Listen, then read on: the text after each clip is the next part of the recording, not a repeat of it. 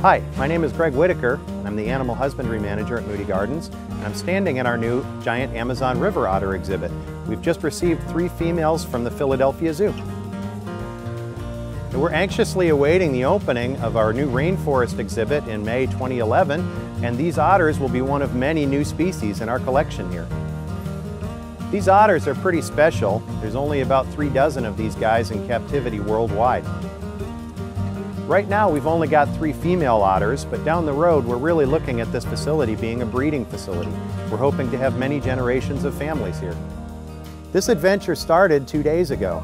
We had some of our staff go to the Philadelphia Zoo and visit with these otters in their home before they were put on a plane and shipped down to us.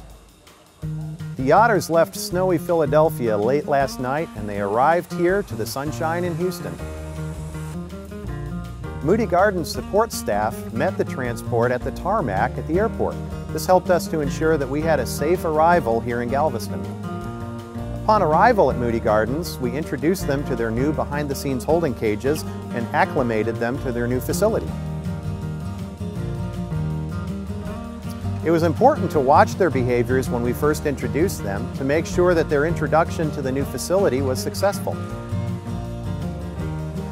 This complicated transport is actually just one small piece of the puzzle in reassembling the giant collection in the rainforest at Moody Gardens. We're excited about these additions and we welcome you to come visit us in May 2011 to see our river otters and many new additions in our rainforest.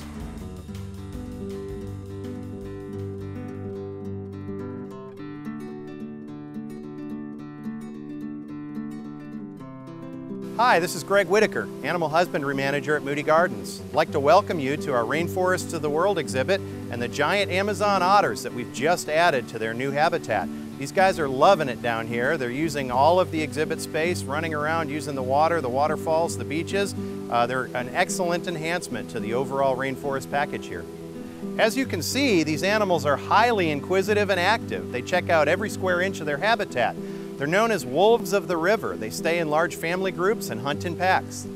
These guys are very capable predators. They eat just about anything they can catch. Most of their diet is fish, including large fish, large catfishes, and even piranhas.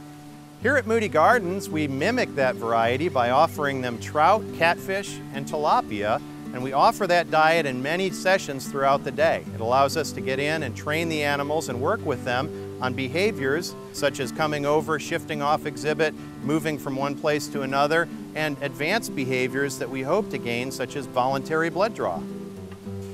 Although these guys look playful and soft, like all wild animals, they really don't make good pets.